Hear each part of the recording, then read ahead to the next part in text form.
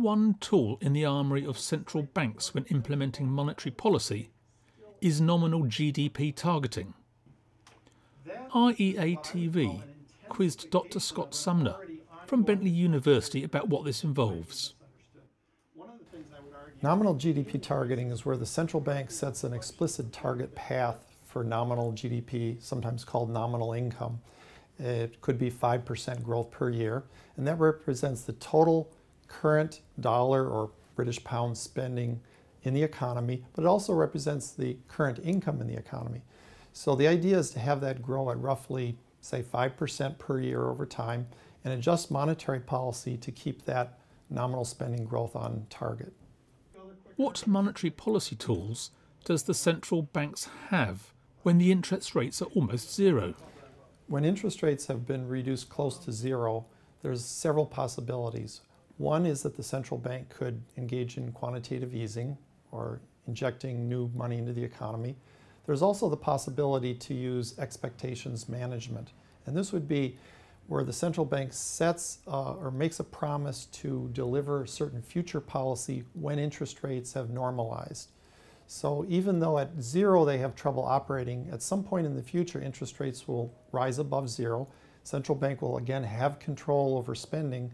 And if they promise at that point to raise spending to a certain level, just that promise will affect current spending because it'll make people more optimistic about future growth in the economy.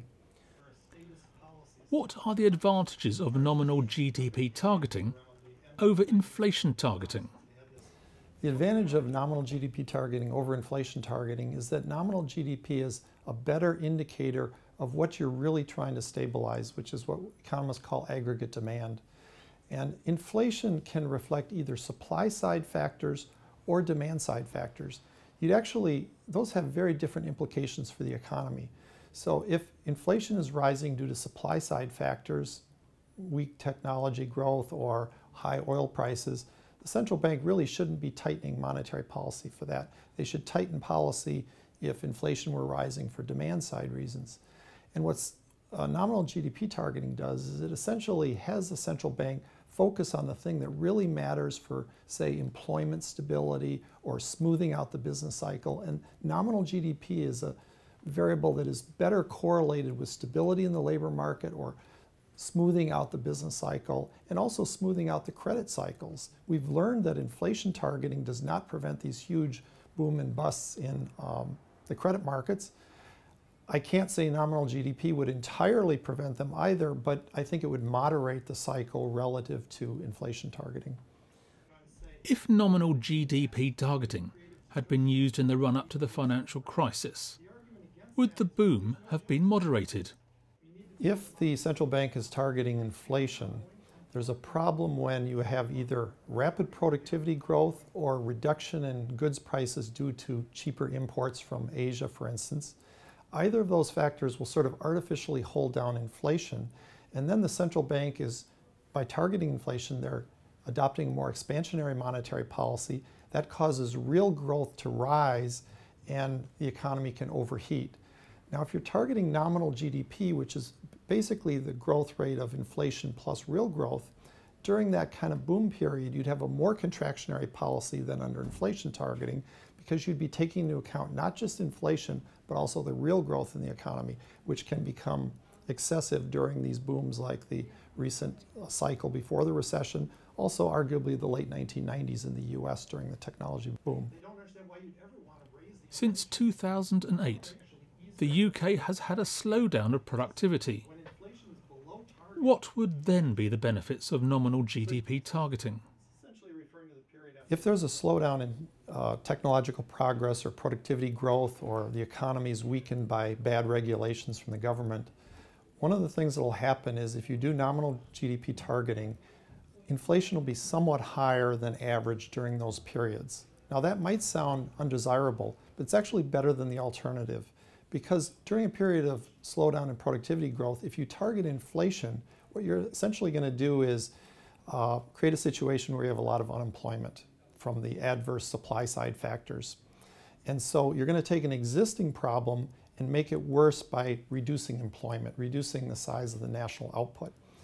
it's better to sort of uh, finesse the problem by targeting nominal income and you take the hit through slightly lower living standards. So you keep nominal income growing at a stable rate, uh, workers remain employed, their wages go up at a relatively stable rate along with nominal income, but because the cost of living is rising above normal, their real consumption will have to fall. So the way the uh, economy suffers in that situation is not through mass unemployment, but just through slightly lower living standards of people already working. And then other times inflation will be below average with nominal GDP targeting. So it'll balance out in the long run.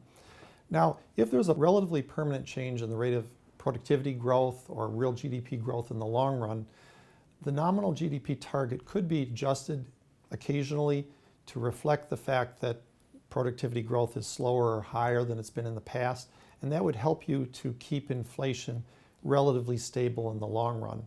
My personal view is it's not necessary to do that. It's enough to target nominal income at a steady rate, and that gives you a nominal anchor to the economy. But if people are really worried about inflation drifting higher or lower with long run changes in productivity growth, there is the option of doing every five or 10 years an adjustment to the nominal GDP target growth rate to smooth out the inflation in the very long run. What growth targets would you suggest a central bank to undertake? If the Bank of England were to adopt a nominal GDP growth target, I would recommend a figure around 4 to 5% per year as a trend growth rate. Uh, the advantage of a higher number is twofold. You're more likely to avoid the so called liquidity trap where interest rates are zero and it's difficult to do monetary policy. Also, it keeps the labor market sort of lubricated because you don't have to do wage cuts in declining industries. You sort of lower real wages through a little bit of inflation. The disadvantage of a higher number is that the higher the rate of growth in nominal GDP, the more tax you're putting on capital because you're taxing to some extent inflated gains. And that distorts the tax system and punishes savers and investors to some extent. So you don't want a too high rate of growth in nominal GDP. Um, and I, I would say a 4 to 5% compromise would be reasonable for Britain, maybe a little lower for Japan, maybe 5% for the United States. It depends on various factors.